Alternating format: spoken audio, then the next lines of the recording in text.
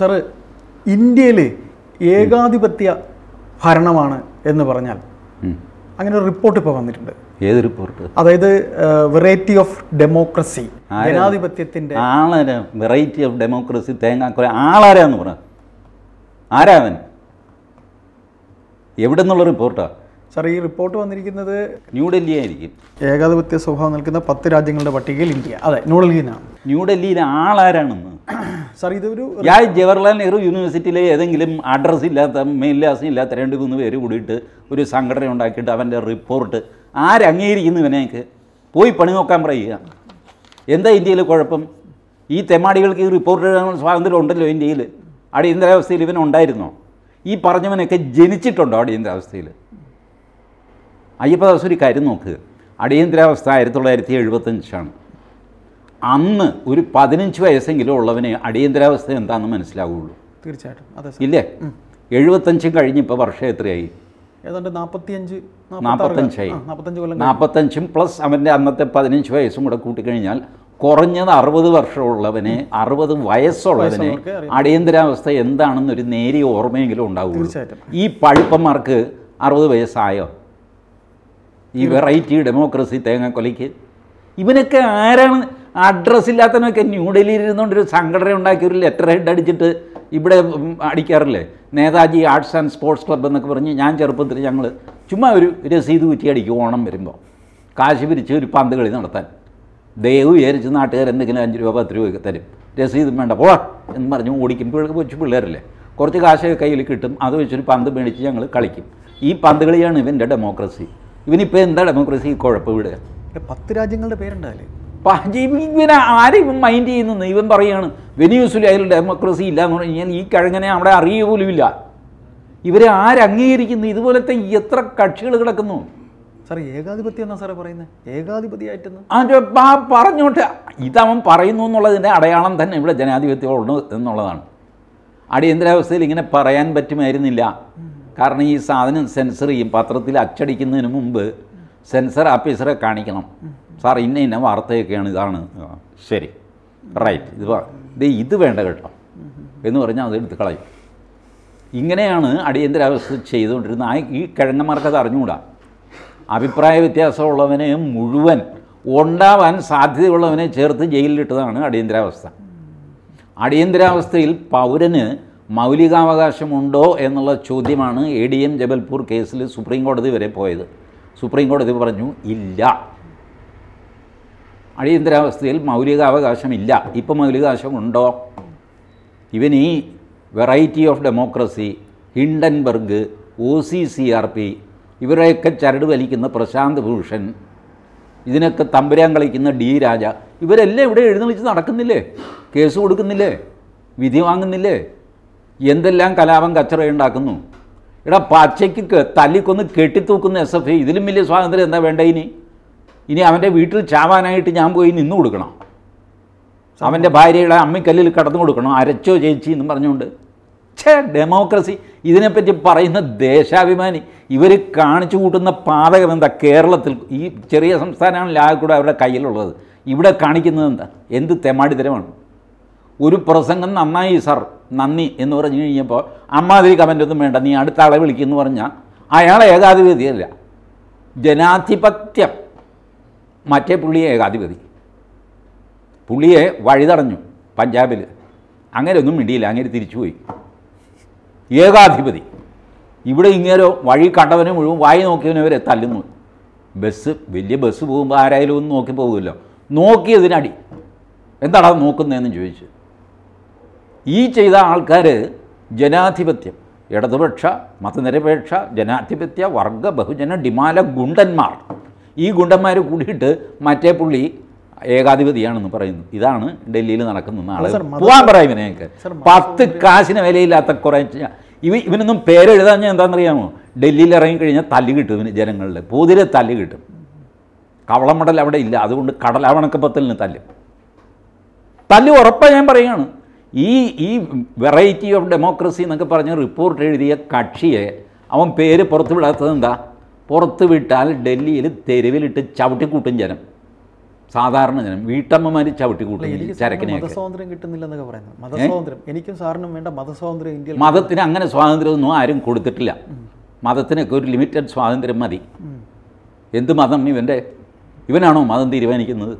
മതസ്വാതന്ത്ര്യം ഉണ്ടോ ഇല്ലേ എന്ന് തീരുമാനിക്കുന്നത് ആരാ? അവനവനാണ്. എനിക്ക് സ്വാതന്ത്ര്യമുണ്ട്. അതുകൊണ്ട് ഞാൻ ഞാൻ ഹാപ്പിയാണ്. എനിക്കൊരു കുഴപ്പമില്ല. എനിക്ക് ഏത് അമ്പലത്തിൽ വേണമെങ്കിൽ പോവാം. പിന്നെ ഭീഷണി ഉണ്ടെന്നും പറയുന്നുണ്ട്. എന്ത് ഭീഷണി? സർക്കാർ നയങ്ങളോട് ആ ഇവൻ ഇവന്റെ കയ്യിലിരിപ്പ് അതുകൊണ്ടായിരിക്കും ഇവൻ പോലീസിന്റെ മെക്കിട്ട് ഈ അടിയന്തരാവസ്ഥയിൽ പിണറായി വിജയൻ തല്ലുകൊണ്ടു? എന്തിനാണെന്നറിയാമോ പോലീസുമായിട്ട് വഴക്കുണ്ടാക്കി തല്ലുകൊണ്ടു. അല്ലാതെ അടിയന്തരാവസ്ഥയിൽ ഇയാൾ ജയിലിലൊന്നും കിടന്നിട്ടില്ല. ചോര പുരണ്ട ഷർട്ട് കൊണ്ടുവന്ന് കാണിച്ചു എന്നൊക്കെ ചോര പുരണ്ട ഷർട്ട് കാണിച്ചു. തല്ലി മേടിച്ചത് എന്തിനാണ്? പൗര സ്വാതന്ത്ര്യത്തിനാണോ? പോലീസിന്റെ മെക്കിട്ട് ഇവരുടെയൊക്കെ സ്ഥിരം സ്വഭാവമല്ലേ? വാടാ ഡാ വാടാ. നീ പെൻഷൻ മേടിച്ച് ചാവൂലടാ എന്നൊക്കെ പറഞ്ഞ് അവനെ ഒറ്റ അടി വെച്ച് കൊടുത്തു. കൊണ്ടു കഴിഞ്ഞപ്പോൾ അയ്യോ എന്റെ ഷർട്ട് കീറി എന്റെ ബട്ടൺസ് പോയി ഇതേ ചോര വരുന്നു എന്നൊക്കെ പറഞ്ഞ് കരഞ്ഞുകൊണ്ട് നിയമസഭയിൽ വരുന്നു. ഇതാണ് ഇവൻ ചെയ്തത്. അടിയന്തരാവസ്ഥ കാലത്ത് ഇവന്മാരെല്ലാം ഒരക്ഷരം മിണ്ടാതെ അയ്യോ അന്ന് കാണണമായിരുന്നു. സഖാവ് E M S Namboodiripad Achutha Menon എഴുതിയ ഒരു കത്ത്. ചരിത്രപ്രസിദ്ധമായ കത്താണ്. തിരുവനന്തപുരത്ത് വിചാരകേന്ദ്രത്തിലുണ്ട് അതിന്റെ കോപ്പി. ബഹുമാനപ്പെട്ട മുഖ്യമന്ത്രി മുമ്പാകെ പുത്തരിക്കണ്ടം മൈതാനത്തൊരു യോഗം നടത്തണം. ഇ എം എസ് എത്ര കാലം ജയിലിൽ കിടന്നിട്ടുണ്ട്? അടിയന്തരാവസ്ഥയിൽ വാജ്പേയി അഡ്വാനിയൊക്കെ പത്തൊമ്പത് മാസം ജയിലിൽ കിടന്നു. ഫെർണാണ്ടസ് ഇരുപത്തൊന്ന് മാസം ജയിലിൽ കിടന്നു. അടിയന്തരാവസ്ഥ പിൻവലിച്ചതിന് ശേഷവും ഒരുപാട് ആർ എസ് എസ്സുകാരും നക്സലൈറ്റുകാരും എല്ലാം ഇരുപത്തൊന്ന് മാസം കിടന്നു. ഇവർ എത്ര മാസം കിടന്നു? എം എ ബേബി അറസ്റ്റ് ചെയ്യാൻ തുടങ്ങി കഴിഞ്ഞപ്പോൾ എം എ ബേബി എറണാകുളത്ത് നിന്ന് മുങ്ങി. തോമസ് ഐസക്ക് മുങ്ങി. ഇവരുടെ കൂടെയൊക്കെ ഉണ്ടായിരുന്ന ആർ എസ് എസ്സുകാർ ഇപ്പോഴും ജീവനോടെ ഉണ്ട്. അവരെ വിളിച്ച് എ ബി സി ഒരു ഇന്റർവ്യൂ നടത്തണം. അപ്പോൾ അറിയാം ഇവന്റെയൊക്കെ ചെമ്പ് പേരെടുത്ത് അവർ പറയും. ഇവനൊക്കെ മുങ്ങിയതിന്റെ ചരിത്രം. അതും കൊണ്ട് ദേശാഭിമാനി ഇറങ്ങിയിരിക്കുക. നാണം കേട്ടവർ സാർ പിന്നെ രാജ്യദ്രോഹ കുറ്റം അപകീർത്തി കേസ് എന്നിവ പിന്നെ വഴി മോദി എതിർ ശബ്ദങ്ങളെയൊക്കെ ഇല്ലാതാക്കുകയാണ്. മോദിക്ക് എങ്ങനെ മോദി രാജ്യദ്രോഹ കുറ്റം ചുമത്തിയ ഒരാളിന്റെ പേര് പറഞ്ഞ് Modi cannot do that law and order ഇരിക്കുന്നത് സംസ്ഥാനങ്ങളുടെ കയ്യിലല്ലേ? ആറായിരം പേരുടെ പേരിൽ ഏറ്റവും അധികം രാജ്യദ്രോഹ കുറ്റം ചുമത്തിയത് ജയലളിതയാണ്. ആറായിരം പേരുടെ പേരിൽ. ആ പാട്ട് പാടുന്നൊരു ചെറുക്കനുണ്ട് തെരുവിൽ ചെണ്ടയൊക്കെ കൂട്ടി പാട്ട് പാടുന്നു. അവനെ അടക്കം അറസ്റ്റ് ചെയ്തു. ഏത് കേസിലാണെന്നറിയാമോ? കൂടംകുളം ആണവ നിലയത്തിന്റെ കേസ് ആറായിരം രാജ്യദ്രോഹ കുറ്റക്കേസ്. ഒരക്ഷരം മിണ്ടിയില്ല ഇവന്മാർ ഒരക്ഷരം മിണ്ടിയില്ല. മിണ്ടിയില്ല എന്നല്ല പേടിച്ച് വാലി ചുരുട്ടി. വി എസ് അച്യുതാനന്ദൻ കൂടംകുളം സമരത്തിന് ഐക്യദാർഢ്യം പ്രകടിപ്പിക്കാനായിട്ട് വി എസ് അച്യുതാനന്ദൻ. തമിഴ്നാട്ടിൽ നിന്ന് വിളി വന്നു ഡി ജി പിക്ക്. കാർന്നവരെ ഇങ്ങോട്ട് വിടല്ലേ ഞങ്ങൾ അറസ്റ്റ് ചെയ്ത് അകത്താക്കുന്നു. അയ്യോ അതിപ്പോൾ കാർന്നവരോട് പറഞ്ഞു "ഹും, എന്നെ അറസ്റ്റ് ചെയ്യാനോ എന്നാലതൊന്ന് കാണണമല്ലോ എന്നൊക്കെ പറഞ്ഞിട്ട് അമരവള ചെക്ക് പോസ്റ്റ് വരെ പോയി വി എസ്. തെക്കേറ്റത്ത് അമരവള ചെക്ക് പോസ്റ്റ്. അവിടം വരെ പോയി. ചെക്ക് പോസ്റ്റ് നിൽക്കുന്ന തമിഴന്മാരെ കണ്ടപ്പോഴുണ്ടല്ലോ. വി എസ് പറഞ്ഞു അല്ല നമുക്ക് എന്തൊക്കെ പറഞ്ഞു കഴിഞ്ഞാലും സമരത്തിന്റെ ഐക്യദാർഢ്യം നമ്മൾ പ്രകടിപ്പിച്ച് കഴിഞ്ഞു. അതുകൊണ്ട് ഇനിയിപ്പോൾ തിരിച്ചു പോകാവുന്നതാണ്. ആണ് സാർ. തിരിച്ചു വണ്ടിയിലേക്ക് കയറി ഇങ്ങോട്ട് വന്നു. അങ്ങോട്ട് കയറിയില്ല. ഇതാണ് ഇവന്മാരുടെയൊക്കെ മഹത്വം. അല്ല രാജ്യദ്രോഹം കുറ്റം ചുമത്തുന്നതും ഈ മറ്റ് കേസുകൾ ഇടുന്നതും എല്ലാം സംസ്ഥാന സർക്കാരുകളാണ്. മോദിയെ തെറി പറഞ്ഞു എന്ന് പറഞ്ഞിട്ട് നാളിതുവരെ വർഷം പത്തായി. മോദിയെ ചീത്ത പറഞ്ഞു എന്ന് പറഞ്ഞിട്ട് ഒരു കേസ് ഒരു കേസ് എവിടെയെങ്കിലും കാണിച്ചു തരാം. അതേസമയം പിണറായിയെ ചീത്ത പറഞ്ഞു കഴിഞ്ഞാൽ അപ്പം പണി കിട്ടും. ഗൾഫിൽ നിന്ന് ഒരുത്തിനെ പിടിച്ചുകൊണ്ട് വന്നില്ലേ. അതെ. അവനെന്തോ പിണറായിയെ ചീത്ത പറഞ്ഞു. ഒടുവിൽ അവൻ പറഞ്ഞു ചേട്ടാ ഞാൻ വെള്ളം അടിച്ചപ്പോൾ പറഞ്ഞു പോയതാണ്. എന്നാൽ അത് പോട്ടെ എന്ന് ചോദിക്കേണ്ടതിന് അവൻ ഗൾഫിലാണ്. വെള്ളം അടിച്ചപ്പോൾ എന്തോ വെള്ളം പറഞ്ഞു. ഇൻടോക്സിക്കേറ്റഡ് എന്ന് പറഞ്ഞു കഴിഞ്ഞാൽ കോടതി പോലും പറയും ബോധമില്ലാതെ പറഞ്ഞു വിട്ടേക്ക്. എന്ന് പറയും. ഇവൻ പറഞ്ഞു ഞാൻ വെള്ളമടിച്ചപ്പോൾ പറഞ്ഞു "എന്നെ വെറുതെ എന്നിട്ട് വിട്ടില്ല. അവനെ അവിടെ സ്പെഷ്യൽ ഫ്ലൈറ്റ് കയറി നെടുമ്പാശ്ശേരിയിൽ കൊണ്ടുവന്ന് അവന്റെ ജോലിയും കളഞ്ഞ് അവനെ അറസ്റ്റ് ചെയ്ത് ജയിലിലാക്കി. പിന്നെ അവനെ ഇതിൽ പോയെന്ന് കണ്ടില്ല. പിന്നെ ഇത് ഇത് ജനാധിപത്യം അതെ. സ്വാതന്ത്ര്യം. ഫാസിസം എന്താണെന്നറിയാം ഇതിന് മുമ്പുള്ള മുഖ്യമന്ത്രി. തലയ്ക്ക് വെളിവില്ലാത്ത ഒരു തന്നെ അങ്ങയുടെ കസേരയിൽ കയറിയിരുന്നു. അത് സി സി ടി വി വഴി കണ്ടു ഗൾഫിലിരിക്കുന്ന ആരാണ്ട് അയാൾ ആ കൂടെ ബഹളം വെച്ചത് ഈ മുഖ്യമന്ത്രിയുടെ കസേരയിൽ ആരാണ്ടിരിക്കുന്നു എന്നൊക്കെ പറഞ്ഞു. പോലീസുകാർ അടി ഇവനെ പുറത്തെടുത്തു. ഉമ്മൻചാണ്ടി ഇവിടെ പറഞ്ഞു സാറേ ഇതെല്ലാം കൂടെ പൂട്ടിയിടണം ഇവിടെ പോലീസ് കാവലും ബന്ദോബസ്തും ഒക്കെ വേണം. ഉമ്മൻചാണ്ടി പറഞ്ഞു ഞാൻ അതിനൊന്നുമില്ല. അയാളൊന്ന് കയറി ഇരുന്ന് എന്താ ഇത്ര വലിയ കാര്യം? അയാൾക്ക് തലയ്ക്ക് സുഖമില്ല എന്ത് ചെയ്യും? എന്ന് പറഞ്ഞു. ഉമ്മൻചാണ്ടി ഫാസിസ്റ്റ്. ഉമ്മൻചാണ്ടി ജനാധിപത്യവാദിയല്ല. പിണറായി വിജയൻ ജനാധിപത്യവാദി. എത്ര കാലം ഈ കാവട്യം കൊണ്ട് നടക്കും ഈ തെരഞ്ഞെടുപ്പിൽ ഇത് പൊളിയാൻ പോവുകയാണ് സാറേ മാധ്യമ സ്വാതന്ത്ര്യം പിന്നെ സാമൂഹ്യ മാധ്യമങ്ങൾക്ക് വിലക്ക് ഇതെല്ലാം ഏറ്റവും കൂടുതൽ ഇന്ത്യയിൽ എന്നാണ് പറയുന്നത് അത് ഏറ്റവും കൂടുതൽ കേരളത്തിന്റെ സംഭാവനയാണ് അത്. ഇന്ത്യയിൽ ഏറ്റവും കൂടുതലാണെങ്കിൽ. മറ്റാരും ഇങ്ങനെ ചെയ്യാറൊന്നുമില്ല. ഇറങ്ങിപ്പോ പുറത്തുനിന്നൊക്കെ? ആ ഇറങ്ങിപ്പോ പുറത്തെന്ന് പറയുക. മുഖാമുഖം പരിപാടി നിറക്കി വിടുക. ഇതൊക്കെ പോട്ടെ പത്തനംതിട്ട ബസ് സ്റ്റാൻഡ് കുണ്ടും കുഴിയുമായിട്ട് കിടക്കുന്നു. ആ കുണ്ടിലൊക്കെ വെള്ളവും നിറഞ്ഞിരിക്കുന്നു മഴ പെയ്ത് കഴിഞ്ഞാൽ. അതെ. അതിന്റെ ഫോട്ടോ എടുത്തിട്ട് ഒരുത്തൻ ഫേസ്ബുക്കിലിട്ടു. അന്ന് ഇവർ വീണ ജോർജ് അവർ എം എൽ എ ആണ് മന്ത്രി പോലും അല്ല ആദ്യം ഒന്നാം പിണറായി സർക്കാരിന്റെ കാലത്ത്. ഇത് ഒന്ന് ശരിയാക്കണ്ടേ മാഡം എന്ന് ചോദിച്ചു. അവന്റെ പേരിൽ വൺ ഫിഫ്റ്റി ത്രീ എ എന്താണെന്നറിയാമോ? രണ്ട് വിഭാഗങ്ങൾ തമ്മിൽ സംഘർഷം ഉണ്ടാക്കാൻ ശ്രമിച്ചു എന്നുള്ള കേസാണ് one fifty three A. Pinarayi Vijayan ഏറ്റവും പ്രിയപ്പെട്ട വകുപ്പാണത്. കേരളത്തിലെ ഏറ്റവും അധികം കേസുകൾ വൺ ഫിഫ്റ്റി ത്രീ എ ആണ്. നമ്മുടെ പി സി ജോർജിന്റെ പേരിൽ രണ്ടോ മൂന്നോ വൺ ഫിഫ്റ്റി ത്രീ എ വായിൽ വിരലിട്ടാൽ പോലും കടിക്കാത്ത കുമ്മന രാജശേഖരന്റെ പേരിൽ one fifty three A Sasikala ടീച്ചറിന്റെ പേരിൽ one fifty three A R V ബാബുവിന്റെ പേരിൽ എത്ര വൺ ഫിഫ്റ്റി ത്രീ ഉണ്ടെന്ന് ഞാൻ ചോദിച്ചപ്പോൾ അയാൾക്ക് അറിയാമല്ല ടി പി സെൻകുമാർ മുൻ D G P state police chief അതെ. അങ്ങനോട് ഞാൻ ചോദിച്ചു സാർ എത്ര എഫ് ഐ ആർ ഉണ്ട് സാറിന്റെ പേരിൽ? പുള്ളി പറഞ്ഞു ആയിരത്തിന് നാല് കുറവാണ്. എന്ന് വെച്ചാൽ തൊള്ളായിരത്തി തൊണ്ണൂറ്റി ആറ് തൊള്ളായിരത്തി തൊണ്ണൂറ്റി ആറ് F I R state police ചീഫായിരുന്ന ആളിന്റെ പേരിൽ. ഇതൊക്കെ ഇട്ടത് പിണറായി വിജയൻ സർക്കാരാണ്. അതുകൊണ്ടാണ് ഈ റിപ്പോർട്ട് ഇങ്ങനെ സാർ വരുന്നത്. സാമൂഹ്യ മാധ്യമങ്ങൾക്കും കുച്ചുവിലങ്ങുണ്ട് ഉണ്ട്. അതും ഇന്ത്യയിൽ ഏറ്റവും കൂടുതൽ ഇന്ത്യ ഇന്ത്യയിലാണ് ഏറ്റവും കൂടുതൽ അങ്ങനെ വന്നിട്ടുള്ളത്. അതെ. ഇന്ത്യയിലാണ് ഈ പറഞ്ഞ എല്ലാ മാധ്യമ കേരളത്തിലെ ഒരു സാമൂഹ്യ മാധ്യമക്കാരനാണ്. തരക്കേടില്ലാത്ത ഒരു സാമൂഹ്യ മാധ്യമക്കാരനല്ലേ ഷാജൻ സ്കറിയ ഓടിച്ചിട്ട് തല്ലിയില്ലേ അയാളെ മുഴുവൻ? ഇവിടുന്ന് ഡൽഹി വരെ അപ്പൊ ഈ വാർത്തയ്ക്ക് കൊടുക്കാൻ കമ്പ്യൂട്ടർ പിടിച്ചുകൊണ്ട് പിടിച്ചോണ്ട് പോയി എന്തെല്ലാം ചെയ്തു? അല്ല സാർ ഈ വാർത്ത കൊടുക്കാൻ ഈ റിപ്പോർട്ട് കൊടുക്കാൻ നാണമില്ലേ ദേശാഭിമാനിക്ക്? ഇല്ല. നാണമില്ല. നാണം എന്നൊരു സാധനം അവർക്ക് അടുത്തുകൂടെ പോലും പോയിട്ടില്ല. ഞാൻ ദേശാഭിമാനിയുടെ ഒരു പ്രത്യേകത ശ്രദ്ധിച്ചിട്ടുണ്ട്. ദേശാഭിമാനിയുടെ പഴയ ലക്കങ്ങൾ കിട്ടില്ല.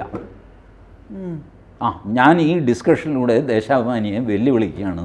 നിങ്ങളുടെ ആർക്കൈവ്സ് പബ്ലിക്കിനെ കാണിക്കാൻ നിങ്ങൾ തയ്യാറാണോ? പഴയ പത്രങ്ങൾ. മനോരമ. അവിടെയുണ്ട്. നമ്മൾ അവിടെ ചെന്ന് കഴിഞ്ഞാൽ അവർ ഏത് ലക്കം എന്താണെന്ന് ചോദിച്ചാൽ അവരെടുത്ത് തരും. പബ്ലിക് ഡൊമൈനിൽ ഇട്ടിട്ടില്ല. ഇടാനും പാടില്ല. ലൈബ്രറി ഉണ്ടാവും. ലൈബ്രറി ഉണ്ടാവും. അവരുടെ ലൈബ്രറിയിലുണ്ട്. അവിടെ പോയി റിക്വസ്റ്റ് കൊടുത്താൽ നിങ്ങൾക്ക് അത് വായിക്കാം. തീർച്ചയായിട്ടും. മാതൃഭൂമി ഡിജിറ്റൈസ് ചെയ്തിട്ടുണ്ട്. കേരളമതിയിലുണ്ട് കേരള കൗമുദി ഇപ്പോൾ ഡിജിറ്റൈസ് ചെയ്തുകൊണ്ടിരിക്കുന്നു. തീർന്നോന്ന് എനിക്ക് അറിഞ്ഞുകൂടാ ദേശാഭിമാനി ഉണ്ടോ? ഇപ്പൊ അവൈലബിൾ ആണോ? എനിക്ക് ആയിരത്തി തൊള്ളായിരത്തി അൻപത്തി മൂന്ന് ജാനുവരി മുപ്പത്തൊന്നിന്റെ ദേശാഭിമാനി വേണം. കിട്ടുമോ കിട്ടില്ല. കൊടുക്കില്ല അവർ കാരണം കൊടുത്ത പ്രശ്നമാണ് ഇവർ ഭാരതത്തിനെതിരെ എഴുതി വെച്ചത് മുഴുവൻ പുറത്തു വരും. ആയിരത്തി തൊള്ളായിരത്തി എൺപത്തി അഞ്ചിന് മുമ്പ് മഹാത്മാഗാന്ധിയുടെ ഒരു ചിത്രം ദേശാഭിമാനിൽ അടിച്ചിട്ടില്ല. ഗാന്ധി ജയന്തി ഇല്ല. എൺപത്തഞ്ചിൽ ഡി വൈ എഫ് ഐ ആണ് മനുഷ്യക്കോട്ട എന്ന് പറഞ്ഞുകൊണ്ട് ആദ്യമായിട്ട് സ്വാതന്ത്ര്യദിനത്തിൽ ഒരു പരിപാടി നടത്തുന്നത്. ഞാൻ പ്രീ ഡിഗ്രിക്ക് പഠിക്കുമ്പോൾ എസ് എഫ് ഐ കുറച്ച് പേരേ ഉള്ളൂ. അവരുടെ പണി എന്താണെന്നറിയാമോ? ഒരു പരിപാടി കഴിഞ്ഞ് ജനഗണമന ചൊല്ലും. ആ സമയത്ത് മുണ്ടെടുത്ത് ഇങ്ങനെ നെഞ്ചത്ത് മടക്കി കുത്തും. തോട് നീന്താനൊക്കെ നമ്മളിങ്ങനെ മുണ്ട് മടക്കി കുത്തുമല്ലോ ഇതുപോലെ തോട് നീന്താൻ എന്ന പേരിൽ മടക്കി കുത്തിക്കൊണ്ട് ഇറങ്ങിപ്പോകും ജനഗണമന ചൊല്ലാൻ നേരത്ത് ഭാരതത്തിന്റെ സ്വാതന്ത്ര്യം അംഗീകരിക്കുന്നില്ല. ഞാനൊക്കെ നിസ്സഹായനായിട്ട് നോക്കി എനിക്ക് വലിയ തടിപാടലും മീശയൊക്കെയുള്ള എസ് എഫ് ഐക്കാരാണ്. നമ്മൾ അശുവായ പയ്യൻ എന്ത് ചെയ്യാൻ? ഇങ്ങനെ ചെയ്ത ടീമാണ്. അതുകൊണ്ട് അവർക്ക് ആ പത്രമൊന്നും പുറത്ത് കാണിക്കാൻ പറ്റില്ല. അതുകൊണ്ടാണ് ആർക്കൈവ്സ് തുറക്കാത്തത്. ദേശാഭിമാനി ജനാധിപത്യത്തെ പറ്റി പറയുക. പുത്തരിക്കണ്ടൻ ഞാനിങ്ങനെ വിളിക്കുക ചാരിത്രത്തെപ്പറ്റി ഒരു പ്രസംഗം നടത്താനായിട്ട്. അത് കുറച്ചുകൂടെ സിൻസിയർ ആയിരിക്കും. അല്ല സാർ ഇതിനകത്ത് വേറൊരു കാര്യം അറിയോ? ദേശാഭിമാനി ഇത്തരത്തിൽ പറഞ്ഞിട്ടുള്ള ഇതെല്ലാം നമ്മളിപ്പോൾ വായിച്ചു. ഇതുപോലെ അവരുടെ അണികളെയും അവർ പറഞ്ഞു പറ്റിച്ച് മാറ്റിയിട്ടുള്ള ഒരുപാട് സംഭവങ്ങളുണ്ട്. കുറച്ച് മുമ്പ് ചർച്ച പറഞ്ഞ പോലെ. കുറച്ചും ഈ കുറച്ച് അണികളെ പറഞ്ഞു പറ്റിച്ചു. ഇപ്പം അണികൾ ഇവരെ പറ്റിച്ചുകൊണ്ടിരിക്കുക ഇപ്പം അണികളും ഉണ്ടല്ലോ. ഇവർ പറയുമ്പോൾ പുറംവാതിൽ നിയമനം ചേച്ചിക്ക് പ്രസിഡന്റ് സ്ഥാനം അനിയന് സെക്രട്ടറി സ്ഥാനം അച്ഛന് പെൻഷൻ എന്തെങ്കിലുമൊക്കെ പരിപാടി ഇങ്ങോട്ട് കിട്ടാതെ അണിയെ ഇവർക്കും കിട്ടില്ല. അണികൾ അങ്ങോട്ടും പറ്റിക്കുന്നുണ്ട് ഇപ്പം. മോശമൊന്നുമല്ല അണികൾ എന്തായാലും- ഒരു ബലാബലത്തിൽ നിൽക്കുക. എന്തായാലും സാറേ അധികം പറ്റിക്കാൻ കഴിയില്ല എന്ന് ബോധ്യമുണ്ടാകുന്ന ഒരു നാൾ ദേശാഭിമാനിക്കും. ഈ കേരളം ഭരിക്കുന്നവർക്ക് ഉടനെ ഒന്നും വരില്ല. അങ്ങനത്തെ ശുഭപ്രതീക്ഷയൊന്നും വേണ്ട. അതൊക്കെ വല്ലാതെ അലമ്പായിരിക്കുകയാണ്. ശരി സാർ ആവട്ടെ. കൂടുതൽ വാർത്തകളും വിശേഷങ്ങളും നിങ്ങളിലേക്ക് എത്താൻ A B C Malayalam subscribe ചെയ്യുക. ബെൽബട്ടനും അമർത്തുക.